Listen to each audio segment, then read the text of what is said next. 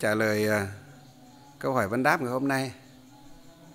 Thầy xin ờ, trả lời à, câu hỏi số 1. Có một Phật tử à, có số điện thoại ở cuối là 3489. Phật tử hỏi như thế này.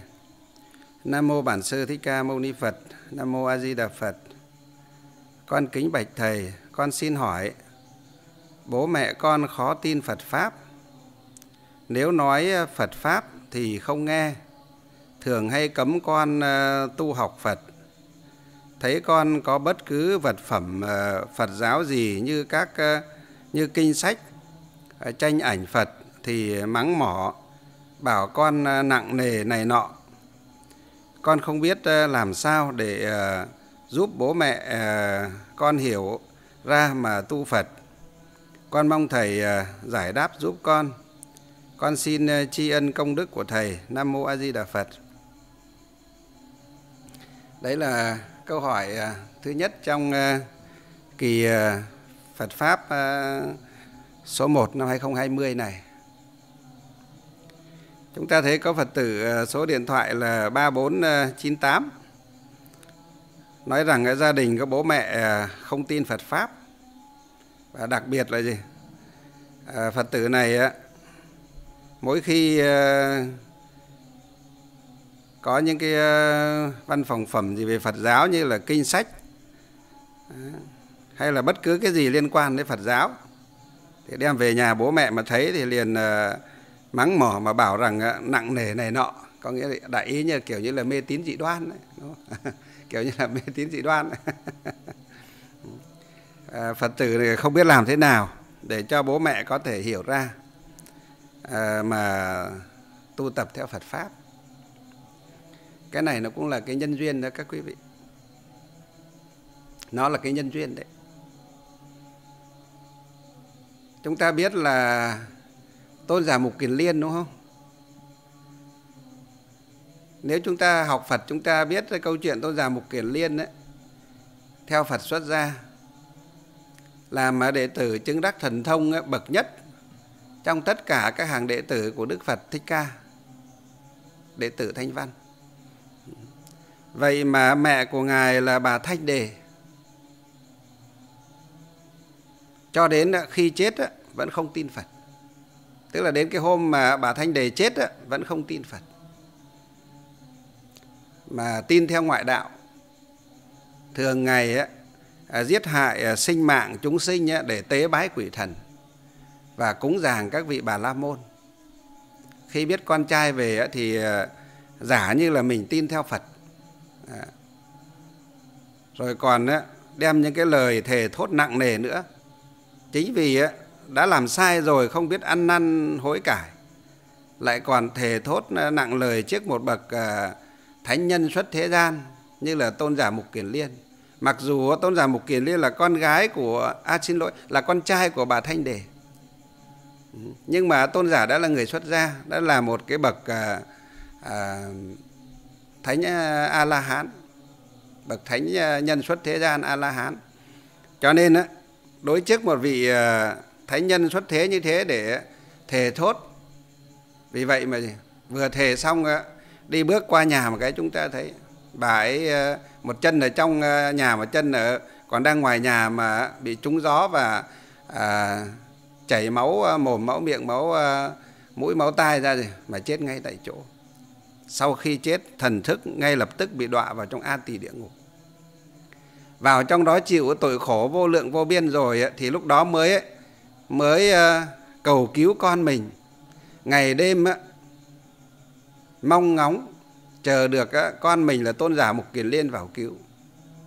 May mắn thay cho bà Thanh Đề gặp được cái đứa con à, trai là đệ tử của Đức Phật, là bậc thánh nhân xuất thế A-la-hán. Cho nên tôn giả à, Mục Kiền Liên đã bạch với Đức Phật. Đức Phật hướng cho à, con đường cứu mẹ đó là cúng dường chay tăng, cầu thỉnh 10 phương tăng đều chú nguyện và hồi hướng cho thì mẹ ông sẽ được thoát khỏi cái tối khổ trong địa ngục. Tôn giả mục kiền liên y giáo phụng hành làm theo điều đó và không bao lâu mẹ tôn giả được uh, sinh về cõi lành. Đó chúng ta thấy đây là nhân duyên. Đến thân mẫu một bậc thánh nhân xuất thế gian đệ tử của đức phật đó tôn giả mục kiền liên thần thông đệ nhất mà còn thì à, còn khó hóa độ như thế. Cho nên ở đây á, à, các phật tử chúng ta nếu mà không may mắn mà chúng ta sinh vào một gia đình hoặc làm con mà bố mẹ không tin phật pháp chúng ta cũng hơi buồn. Nhưng mà đừng có oán thán đừng có trách cứ bố mẹ. Hoặc làm vợ mà chồng không tin phật pháp cũng đừng có oán thán và đừng có trách chồng. Hoặc là chồng á mà vợ không tin phật pháp cũng đừng có oán thán và đừng có trách vợ. Hoặc là bố mẹ à, có những đứa con á, không tin phật pháp chúng ta cũng đừng có oán thán và đừng trách con cái của mình. Tất cả nó là cái nhân duyên. Chúng ta biết là ở nước xa vệ thời đức phật còn tại thế mà. Có tám có tám ức hơn tám ức ờ, người. Nhưng mà chỉ có hơn ba ức người là à, gặp Phật và tin Phật mà thôi hơn tám ức người mà có à, ba khoảng ba ức người gặp Phật và tin Phật. Khoảng hai người gặp Phật á, nhưng không tin Phật. Còn lại là khoảng ba hơn ba ức người là chưa từng gặp Phật và cũng không tin Phật. Chúng ta thấy không? Ngay một quốc gia nước xá vệ. Ừ, nơi ấy Đức Phật đã, đã cư trú ở đó hơn 25 mùa ăn cư tức là hơn 25 năm Đức Phật ở đó. Chúng ta biết là 49 năm thuyết pháp độ sinh của Đức Phật. Đức Thế Tôn ở đó là hơn 25 năm. Vậy mà có hơn 8 ức người chỉ có 3 ức người à, gặp Phật và tin được Phật. Hai ức người là gì? Gặp Phật nhưng á, nhưng không tin Phật. Tức là đi ra chợ là nhìn thấy Đức Thế Tôn đi khất thực hay đi ờ, ngoài thành nhá đi đó nhìn thấy Đức Phật nhưng mà không tin Phật. Còn lại hơn ba ức người chưa thấy Phật mà cũng không tin Phật. Không tin Phật và cũng chưa từng thấy Phật. Cho nên chúng ta thấy không? Cho nên á, chúng ta mới phải biết rằng á, Phật pháp nan văn, chúng tăng nan ngộ lại như thế. Câu nói đầy đủ là nhân thân nan đắc phật pháp nan văn, chúng tăng nan ngộ tức là thân người khó được, phật pháp khó nghe, chúng tăng khó gặp.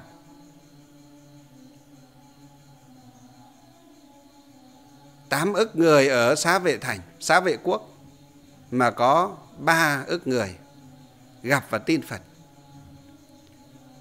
Hai ức người gặp nhưng không tin, chúng ta thấy không? Gặp nhưng không tin. Nhìn thấy thân tướng của đức như lai, tướng hảo như thế, trang nghiêm như thế nhưng vẫn không có một chút động tâm là tại sao á? Ông phật, ông lại đẹp đẽ như thế. Tại sao ông lại có à, thân tướng ờ, đẹp đẽ như thế? Ông tu cái pháp gì mà ông được cái thân tướng đẹp đẽ như thế? Ông tu cái nhân gì mà ông ấy được ờ, công đức phúc báo lớn lao như thế? Có nhiều ờ, các bậc quốc vương vương tử, đại thần à, các tầng lớp nhân dân ở tám quốc gia, ấn ở ấn độ lúc bấy giờ tin theo như thế? Họ chưa bao giờ đặt một câu hỏi nhìn thấy phật nhưng chưa bao giờ đặt một câu hỏi. Cho nên chúng ta mới phải biết rằng đây là cái nhân duyên. Vì vậy mấy trường hợp phật tử này, thầy à, cũng chỉ có khuyên rằng mình cứ thôi, cứ nhất tâm. Mình đã được thân người, được gặp phật pháp rồi, mình cứ nhất tâm mình tu theo.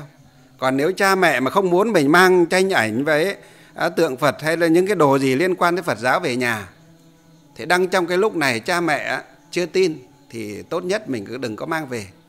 Nếu chúng mang về, chúng ta mang về lại vô tình lại làm cho cha mẹ khởi cái ác tâm với với tam bảo, với phật pháp thì không hay.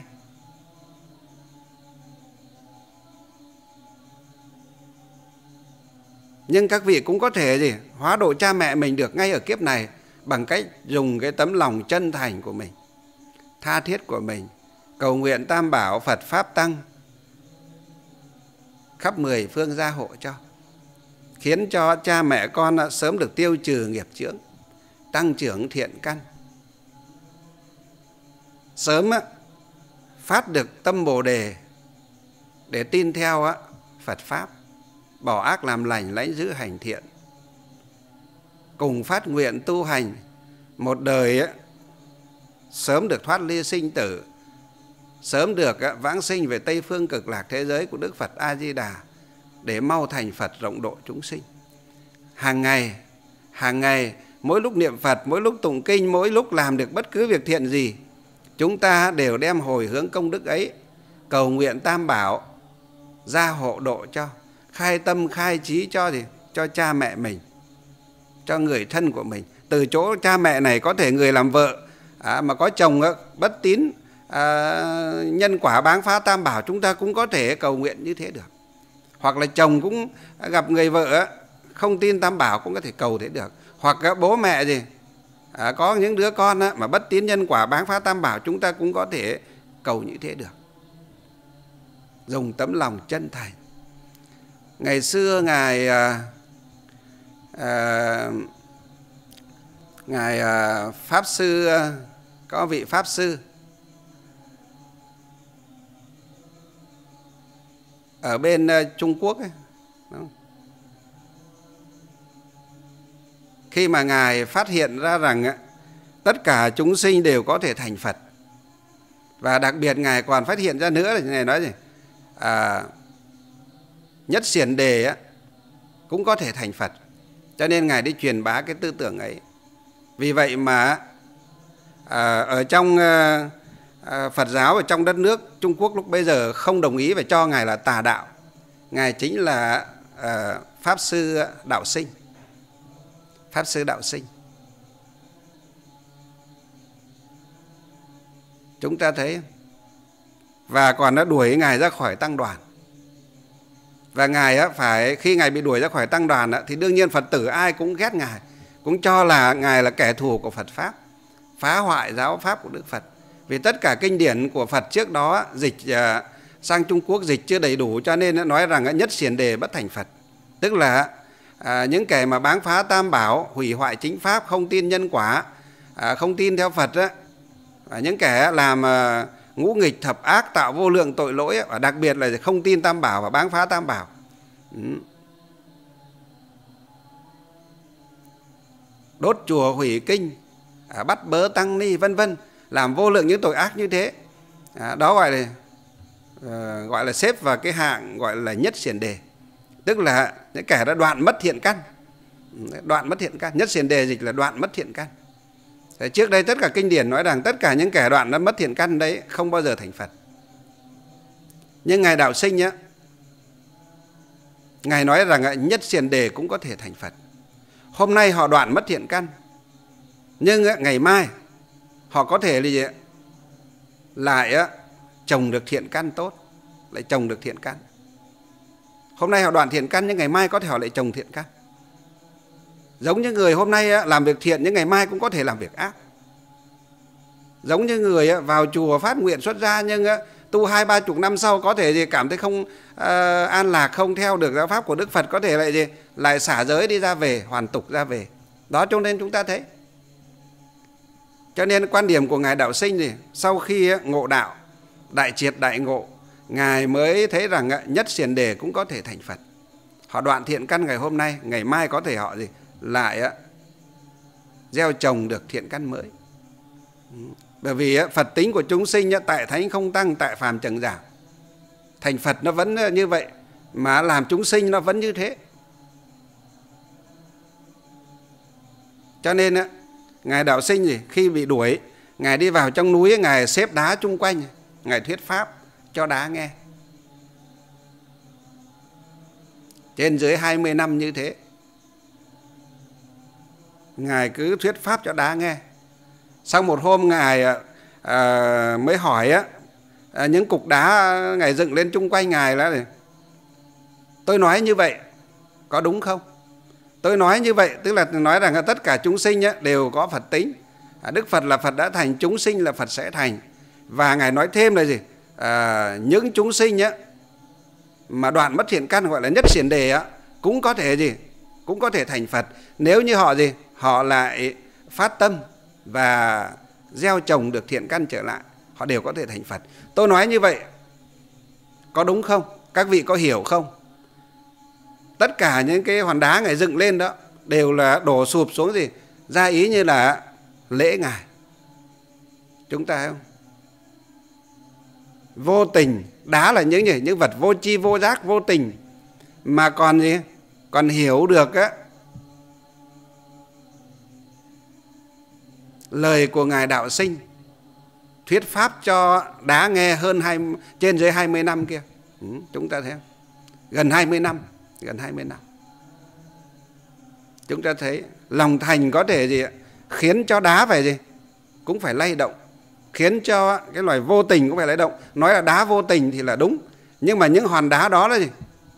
Khi ngài thuyết pháp đã có gì? Chúng uh, chư thiên và các vị bồ tát ờ, đến ngồi nghe pháp. Và ngài hỏi đá như thế thì chúng chư thiên các vị quỷ thần và các vị bồ tát là gì? Ngài hỏi đá thì đương nhiên các vị phải gì ạ? Để cho chứng tỏ là gì? Ngài đạo sinh là một bậc chân tu chứng đắc thực sự mà những người ờ, ờ, chân tu ở lúc bấy giờ ờ, chưa đạt cái sự chứng ngộ chưa đạt được đến như ngài đạo sinh cho nên nó chưa hiểu được lời nói của ngài.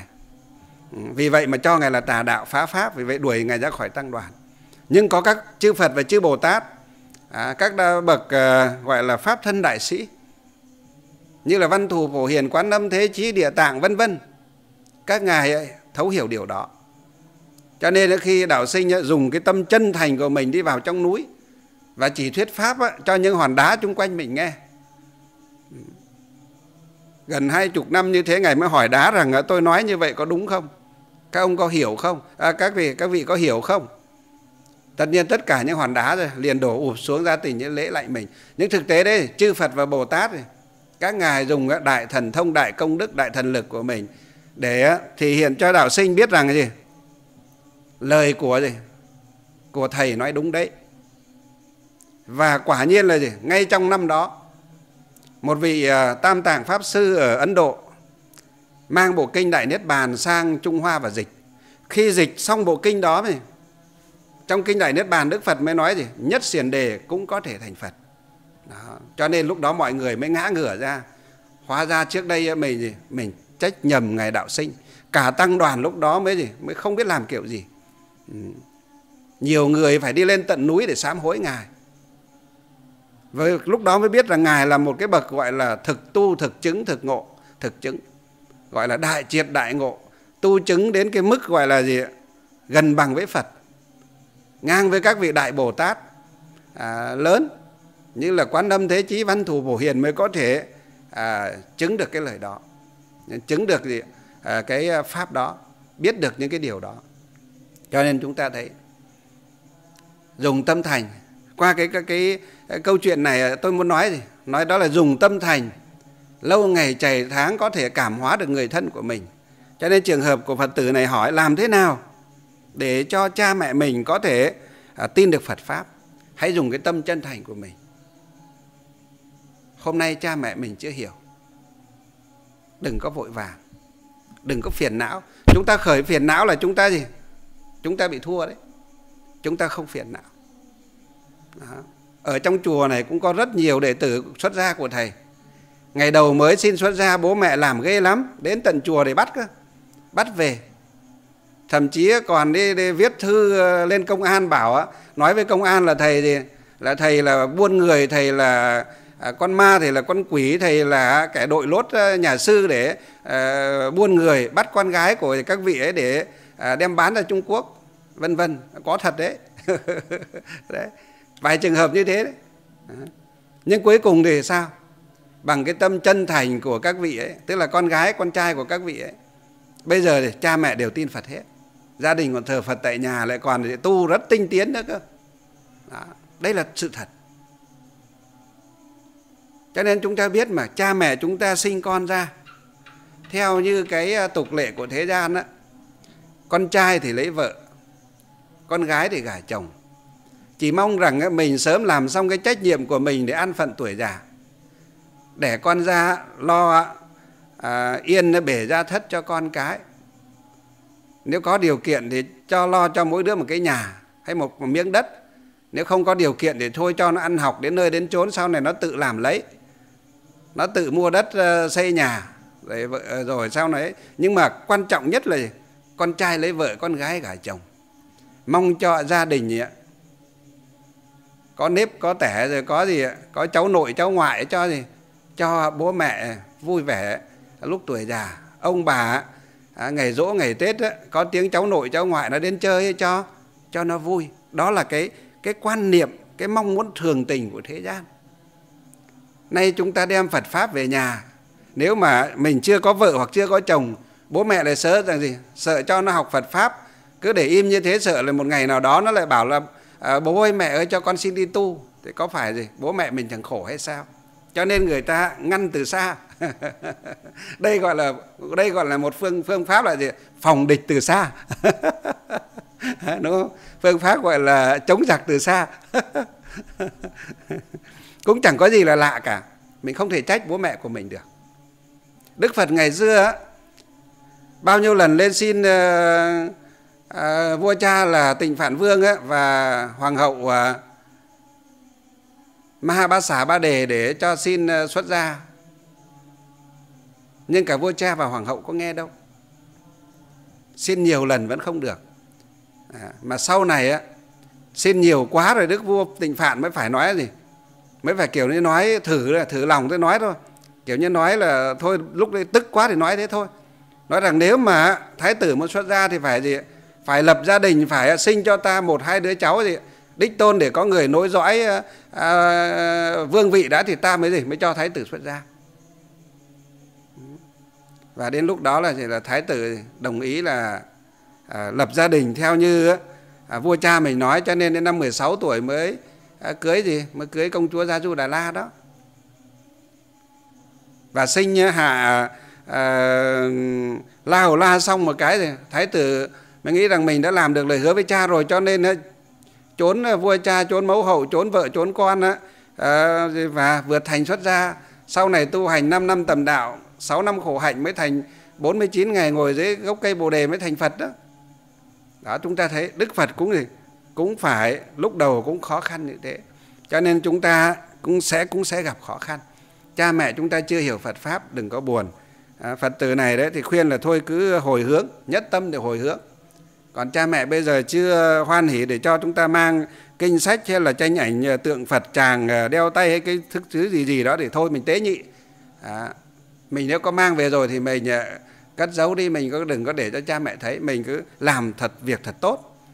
Chăm chỉ ngoan ngoãn làm thật tốt. Cha mẹ mình sẽ sẽ nhìn vào những cái thay đổi của mình ấy và sau này cha mình mình phải, phải suy nghĩ không biết nó làm gì mà nó thay đổi thế. Tìm hiểu ra mới biết là con mình đi chùa mà thay đổi tốt như thế cha mẹ sẽ phải ơ cái chùa nó như thế nào? Đi chùa nó như thế nào nhỉ? Ngày xưa nghe bảo trẻ vui nhà và già vui chùa mà mình đã biết tới mấy cái vị sư mà rồi suốt ngày cứ ấy, chửi nhau rồi cứ uh, thế này thế nọ với các vãi là mình thì chán ớn ra rồi. Ví dụ như là đặc biệt là nếu mà làng mình hay là khu phố nhà mình mà có cái chùa mà có cái thầy nào á, mà à, tu hành không đến nơi đến chốn á, chửi các phật tử chửi dân như là mổ bò á, thì khiến cho cha mẹ mình mất niềm tin. Rồi thỉnh thoảng lại đọc báo chí để, để sư ăn chơi sư sa đọa sư này nọ thế kia lại mất càng mất niềm tin nữa. Thì bây giờ mình phải làm một con người thay đổi một con người tốt đó. xong rồi dần dần cha mẹ mình có tìm hiểu thì mình tùy phương tiện mà mà nói. Tùy phương tiện mà nói thì đều có thể dần dần đều có thể độ được cho cha mẹ mình vậy. Hãy nhất tâm. Thứ nhất là cầu nguyện tam bảo. Gia trì khai tâm khai trí cho cha mẹ mình. Thứ hai là tự mình cũng phải thay đổi trở thành một con người thực sự tốt thực sự tu hành thực sự thay đổi. Ừ. Và thứ ba là gì? là cái duyên. À, chúng ta đừng có vội vàng. Duyên nó chưa chín thì đừng có vội vàng. À, đừng có mang kinh sách mang tranh ảnh văn à, À, hóa phẩm Phật giáo về để trêu ngươi bố mẹ. Đấy cái đó. Từ từ đi. À, bao giờ duyên nó đến thì tự nó sẽ nó sẽ sẽ sẽ đến thôi. Quả nó đến lúc nó chín thì chúng ta thì không cần hái để trên cây nó cũng chín các quý vị. À, không cần vội nhé trường hợp này trả lời như vậy.